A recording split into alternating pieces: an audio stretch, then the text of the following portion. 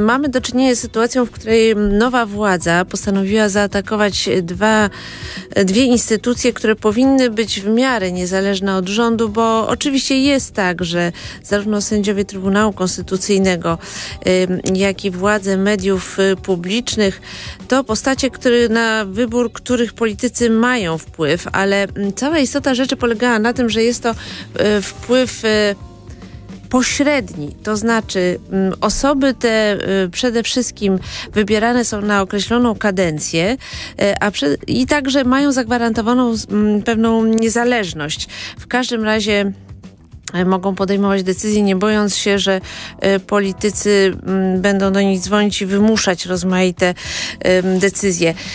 Teraz będzie inaczej, dlatego że mm, to, co się dzieje z Trybunałem Konstytucyjnym czy z mediami publicznymi oznacza tylko jedno, znaczy ręczne sterowanie lub właściwie e, paraliż.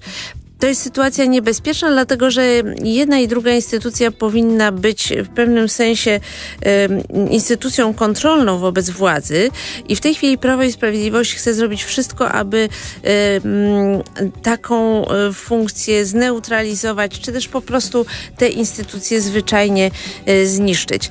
Ja tak się zastanawiam nad tym, mm, że i, mm, i myślę o sobie tak, że czuję jednak pewną wspólnotę duchową z wyborcami Prawa i Sprawiedliwości. Bo mm, kiedy myślę o tym, kto zyskuje na tym, że Polska jest tak postrzegana w Unii Europejskiej, właśnie ze względu na najpierw atak na Trybunał Konstytucyjny, później na publiczne media,